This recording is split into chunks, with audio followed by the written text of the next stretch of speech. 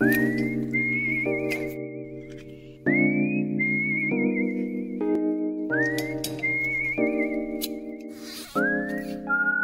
vamos a catar Finca Villalobillo Sairén 2019. Una, un viñedo de más de 80 años de Corral de Amaguer que presenta este bonito color amarillo, pajizo, con reflejo acerado, muy limpio, muy brillante. Aromas de buena intensidad que recuerdan a fruta blanca, azahar, manzanilla, algún recuerdo a melón. Paso boca elegante, comedido. Mineralidad, un poco largo.